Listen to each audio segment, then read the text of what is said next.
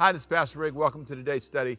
I really like the theme we're in this year on being honest and being truthful because I believe one of the things that we run from is truth. There's a statement I made in a sermon I want to repeat. It's in 2 Peter chapter 3, verse 18.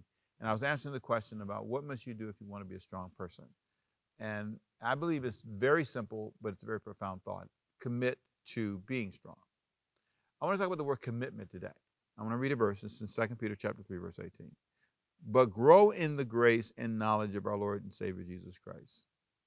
I want you to think about that one statement. Grow in the grace and the knowledge. You must, if you're going to be a, a truthful and a blessed person, you must commit to that. I want to be strong. You must make a commitment. So I want to, I want you to have a, a truthful moment where you sit back and say, okay, let me see what I'm committed to. Now, if we're honest, we're committed to watching certain sports, right? Some people are committed to going to work, they're committed to certain love relationships, and you can go through a list of things. What are you committed to? In this text, Peter says we need to be committed to growing in two things grace, and he says grow in knowledge. Get it right here. Grace and knowledge. Grace is a big word. Grace basically has to do with growing and experiencing God's goodness. It's, it's, it's, striving to be like Him, having an, an open heart to God's best for your life. And then the second part of it is grow in your knowledge. I, I want to grow in my intimate, personal relationships with God. I want God's best, God's grace, God's favor in my life. I want to grow in that experience. And I, I feel like I'm living in it. I, I, see the grace of God in my life, my marriage, my church. Uh, I see the grace of God in what I get to do. Talking to you, part of the goodness of God is, is, is me experiencing God's best. You want to grow in that experience, but you also want to grow in knowledge. There's nothing like knowing yourself. There's nothing like being informed, so you're not confused. You now know for you yourself what works, what doesn't work, what's right, what's not right. And and my goal in life is to always be growing.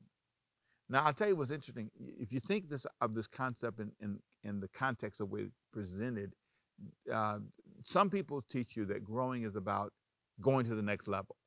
You know, it's like I need to have the next level of income, the next job, the next, the next, you know, whatever. And th- that's not what this is really about. It's about growing in grace. It's about experiencing God.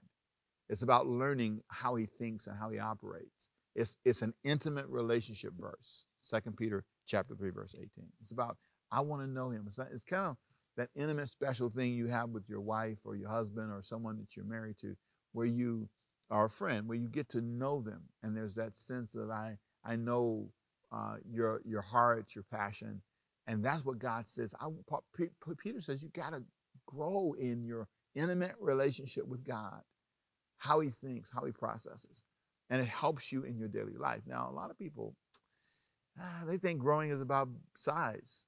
You know, and that was a temptation for us. You know, well, how many people we got? You know, it's a thousand. All right, two thousand. You know, I remember standing uh, in some of our larger gatherings, and it would be just thousands of people or hundreds of people, and it would be just be crowds of people coming, and I'd be greeting, "Hi, how are you? How are you?" In those moments, I've said to myself, "Wow, if this is all that there is, I missed it." It's not about growing in some experience or even travel. It's in my walk with the living God.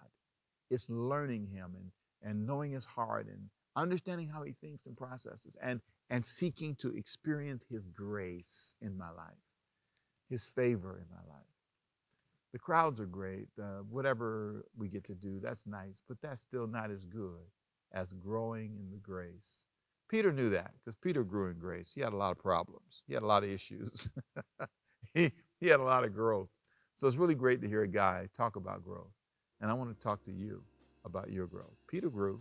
Peter denied Christ, had issues, but he grew. He grew in grace. He saw grace extended to him. And I want to tell you, God wants to extend grace to you, goodness to you. That's what that means. So let's pray. Father, I pray for those who are listening today. May this be a moment where they say, Father, let me grow in your grace and in your knowledge. I want to experience your goodness and your best for my life. In Jesus' name, amen. Hey, it's been a joy to be with you. It always is. My name is Pastor Ricky Temple. I pastor Overcoming by Faith in Savannah, Georgia.